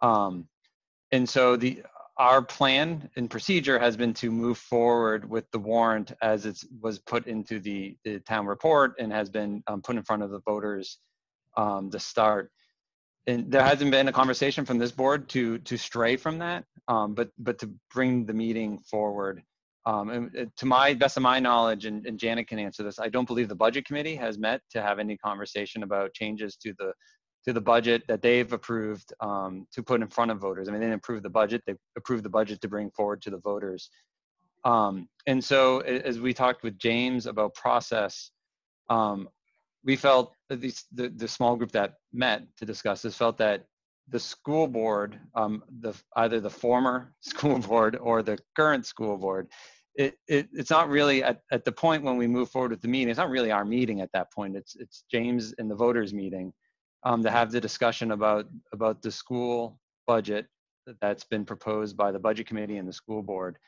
Um, and then you know it's up to the voters to rec- to bring amendments forward and to move to move those amendments um, so this this is a roundabout way of answering your question ken but i think at this point you know we we have the budget that's been voted on and approved by a, a former board um, and then the the, the um, budget committee and I, th- I think in terms of process it, it makes the most sense to put that in front of the voters um, in order to then make amendments as we would at as we would have in March. And the world has changed, and so um, my assumption is there's going to be a lot of public comments and a lot of conversation about about the budget um, and what to do. And I think the the, the school boards um, will have the opportunity to answer questions and talk about impact of changes and what that means and be prepared to do that. But I, I think to not present that budget um, to the voters in order for them to make changes and, and to ultimately vote on it, um, that that it feels like the right thing to do is to move to move forward with with what we've been proposing for the last you know since February. One other potential problem might arise. Um, I don't know how this would all play out if it if it um, push comes to shove, but with the postponement, that does not affect the legal date of the meeting back in March. So I think if there were any votes taken now, you might sort of run afoul of whether or not that March date is still the effective date for the require, the statutory requirement that the meeting be held in March, for example. Uh, you could run a- afoul of that um, if decisions are made to change um, what the article is to that extent. Um, thank you, Ken. Um, so next up, um, the hand was for uh, Jeremiah Johnson. And so, uh, Jeremiah, you should be able to unmute yourself um, with your comment or question. Hi, can you hear me? It's actually Laura Johnson. Oh, hey, Laura, how are you? hey, good, thanks. Yeah, I just have two quick questions. Um, one, and I, I apologize if I missed this, but online voting, if that was possible at all, and um, if people can't do, you know, don't have access to do it via car. And then the other question was, um, I'm kind of confused about how you would keep six feet coming up to the car just for the safety of everyone. Thanks. I'm going to ask James if. Um, First, uh, first part with the online voting, if I knew of a system that was secure, um, I'd consider it. I don't know how you would check in with the register, with the registry to make sure that you have, um, that you're a valid voter. Um, I think to try to come up with a system, um, that I feel rushed with what we're doing, something like that would be even more rushed and more uncertain. Um, and I would, for one, would not feel comfortable straying that far afield. The other issue with that is that I don't think that would satisfy the secret written ballot yes no um, that is um, any five voters can request. Um, so I think that would create um, legal problems to try to come up with a system like that. Uh, the second issue being uh, distancing from the car as you come up. Um, I would envision having quite a separation between where the car stops and the table and uh, some loud voices. Um, if other people have other ideas, that's just kind of how I envisioned it in my head. I didn't really, admittedly, think that deep into the details of that at this point. I, I can speak some to that the, as the supervisors. Um, what we were thinking was someone would, we would all have masks on at the very least, and the person um, going would go up to someone's car, um, and the person in the car would have to just crack the window. Um, I, I think for safety's sake, that's the way we have to do it and give the names. Um, in, in a meeting, in the town meeting or the school meeting, there is no requirement that you actually show your ID. So there's no, no one has to be touching anyone else's property. Um, and then the ballot would be handed in if they're to the cars or the ballots to the people in the car. So um, I, I think that's the other thing. The other thing is that there, there is no provision in the state of New Hampshire for online voting. You know, that would require the legislature to take some action and the governor to sign it. So I don't think there's any way that we could do online voting. Thanks, and, and thanks for the, the comment, Laura. Um, I, I don't see any other hands coming up, um, but I want to give anybody the opportunity for public comment. Oh, I'm sorry, I did see a hand come up, and it was Billy's, and he's giving me the I don't want to speak. oh, he does want to speak. Um, Billy, we can hear you now. Yeah, good. Um, a couple of comments ago about the deadline, and I, I share the sentiment that it's like you know it's it's tough, but you have to think it, it's for the teachers here that we're we're talking about. This is why the deadline is because contracts need to be issued and we're not going to move back september 1st or whenever we start. So the teachers if they don't have a contract they need to have time to look for another job. I think the whole idea of the deadline having this meeting is in the eyes of it's to assist the teachers to give them some sense of time to look for another job. Does that does that make sense? I, I know steve said it but that's really what it what it is. That's why there is a deadline for this meeting. So I it was a couple of people before, and I just thought I'd say it. No, I think it's it's it's good to reiterate that because it is. I mean, we we we we have a lot of we have a lot of people and a lot of families that um, are looking for for assurance, and then for the school board, you know, how how you plan for next school year and how you put all those pieces in place. Um, right. Right. There, there's a lot riding on on a, on a on a school budget. Um, and so it's it's not it's not merely just a technical piece, but it is the teachers, it's the administrative staff, it's ensuring that we we can move forward with planning and hiring um, for next school year to ensure that our students are going to receive the education we all want them to. So, um, uh, Billy, thank you for bringing that up. I think it's really important. Um, so I, before I move on to another uh, board member, I just want to make sure there's nobody else for public comment. And so I just want to do one more call out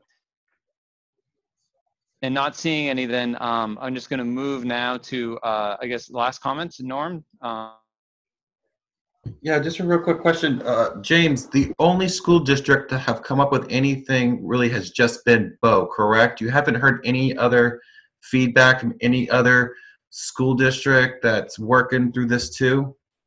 I have not heard anything yet. Um, I've been in close contact with counsel at the New Hampshire School Board Association um, who is certainly aware of the issue.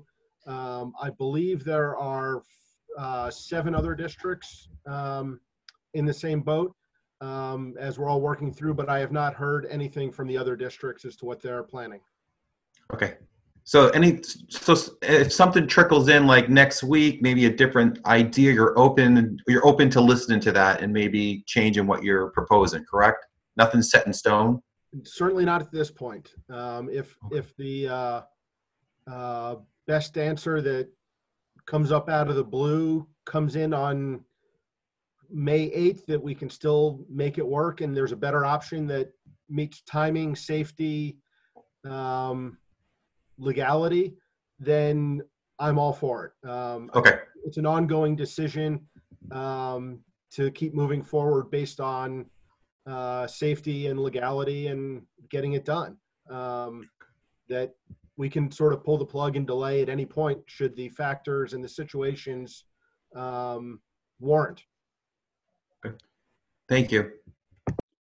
All right. So at this time, um, I, I sort of just want to go back over our our our guess near term process um, for where we're at. So um, you know, James, our, our next meeting um, it's not on the, it's not on your screen. Um, it, it is actually April 30th will be our next meeting. So next Thursday at 5:30 um, will be when the school board meets again. Um, and so what I would ask um, all of you that are um, here with us today, who are um, interested in and want to be and should be part of that discussion, I would like to invite you all back to to join us, sort of in a similar process and similar manner. Um, James will will present more of the formal plan. Um, hopefully, we'll get something out a couple days ahead of time to everybody in this group um, that we'll talk about and move forward with, and then and then see if there's um, still questions, and and then James will have to make a decision of whether or not um, you know we proceed with the communications to try to get um, the meeting run smoothly for May 9th. So really, our our next date to meet is April 30th. There's no real decision tonight, but this has been a really helpful conversation um, uh, and productive conversation uh, to sort of help drive towards um, what I hope to be is a decision on the 30th, whether or not we're going to proceed or whether or not there's too many concerns um, and we need to go back to the drawing board. Um, and I would just say uh, that if there are questions or if there's additional comments or concerns, and that goes for, I think, anybody on this call, um, or any members of the public that you know all this all our board members um, are, are ways to contact us are on the website so please uh, feel free to send us um, emails, give a call, let us know um, your thoughts, concerns, ideas, suggestions. Um, I think we're all ears, um, and we can pass those along to James as well as he sort of plans um, for what comes next.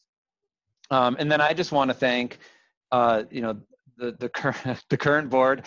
Um, you know, we've had a lot of long meetings. Um, you know, in the run up to this, and I and I think we're going to have um, some more long meetings moving forward. But um, thank you for for digging in on this. Um, I want to thank the former board members um, who are with us, not only for your commitment to the town and to the district.